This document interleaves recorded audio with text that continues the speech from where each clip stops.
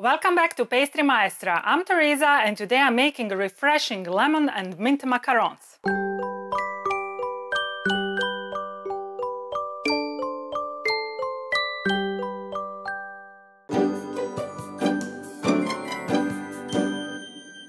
Today I'm making delicious and refreshing lemon and mint macarons.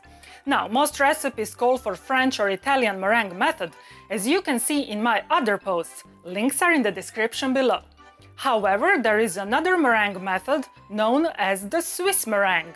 This method is, in my opinion, unfairly neglected, so I have decided to use it in my recipe today. By the way, if you are a newcomer to the world of sweetness, you probably ask what is Swiss, French and Italian meringue in the first place. Well, don't worry, I got you covered. I have an elaborate post and video about all three methods of making meringue. The link is also in the description below. Okay, back to the Swiss meringue.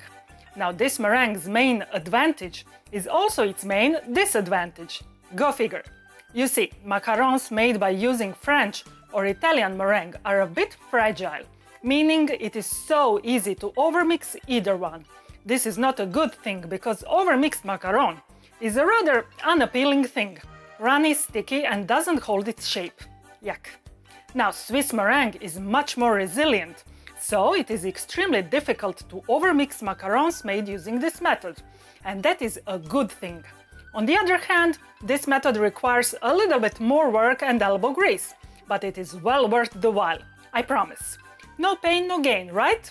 Now once I make my yellow and green macaron shells, I will make white chocolate and lemon ganache, and finally I'll show you how to make mint jelly from fresh mint leaves. I bet that you can already taste that divinely fresh and a bit zingy flavor in your mouth, right? Okay, so let's get to work and make some beautiful, refreshing lemon and mint macarons. As usual, the recipe is on my site and the link is down below.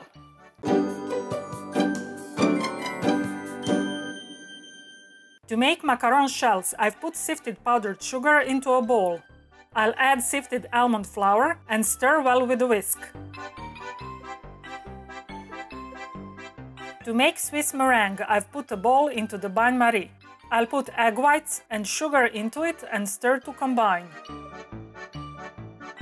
I've put the probe of my digital candy thermometer into the mixture and I'll heat it until the temperature reaches 70 degrees centigrade, which is 158 degrees Fahrenheit.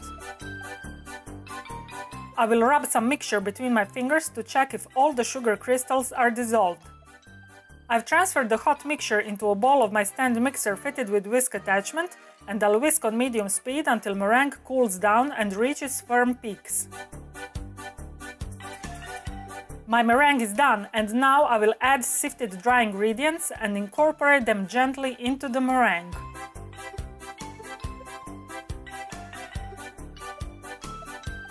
My mixture is still pretty firm and I have divided it into two bowls, 250 grams which is 8.8 .8 ounces each. I will add yellow gel coloring into one bowl. Then I'll continue mixing until the mixture becomes shiny, thick but pourable.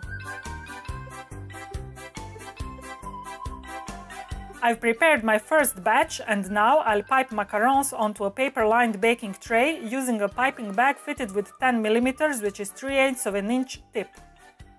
Under the paper I've put a template with 5 cm which is 2 inches in diameter circles that you can download on my website. The link is in the description below. I will tap the tray against the counter and then I will leave my macarons at room temperature for about 1 hour until they are dried. I will repeat the procedure with the second bowl. I'll add green gel coloring into the mixture. Then I'll continue mixing until the mixture becomes shiny, thick but pourable.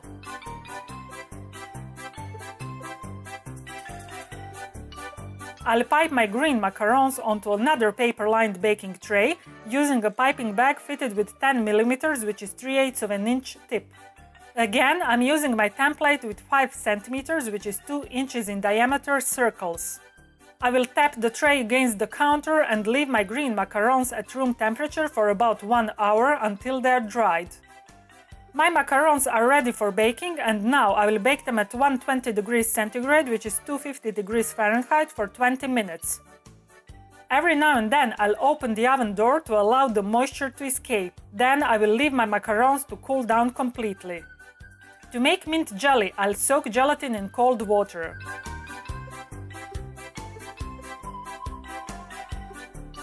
As soon as my gelatin softens, I'll take it out and squeeze to get rid of the excess water.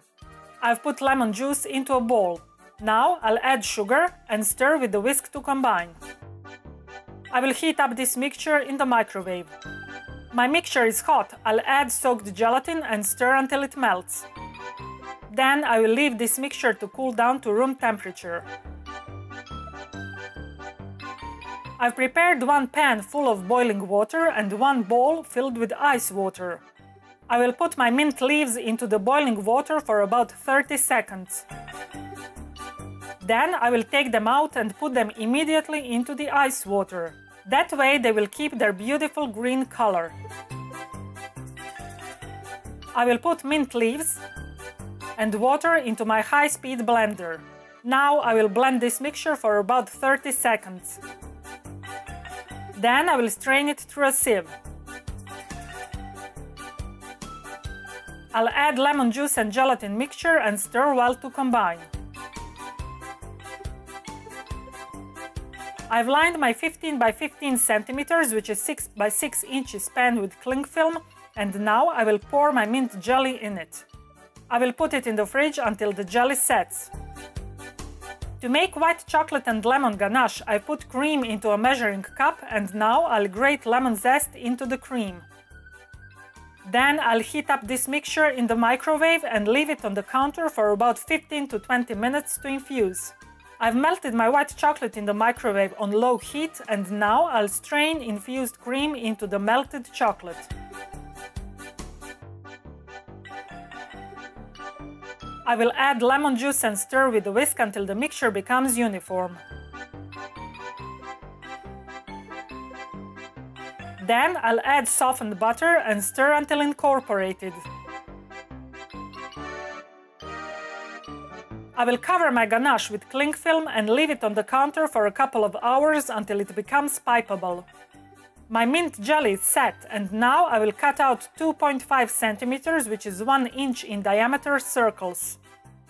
I will place one mint jelly disc in the middle of my macaron shell. I've put my ganache into a piping bag fitted with small star tip and now I will pipe it around the jelly. Then I'll sandwich it with another macaron shell. There, my delicious and refreshing lemon and mint macarons are done. Enjoy! Oh baby, you are so sweet, so delicious and yummy, so good to eat. I wanna lick you, feel your sweetness on my lips. Forever and ever, you'll stay on my hips. I'm Tereza. Thanks for watching my video. I hope you liked it. If you want to stay in touch, follow me on Facebook, Twitter, and Instagram, and of course, visit my site where you can find elaborate posts with lots of pictures, additional information, and recipes that follow my every video. Also, on my site, you can download my free 365 pages ebook, The Pastry Chef, and maybe buy me a macaron. If you think that I've earned it. Now, before you go, please hit the like button and subscribe to my YouTube channel. That really helps a lot. Finally, and this is the most important thing, don't forget to create sweetness every day because sweetness is happiness. See you in my next video. Bye!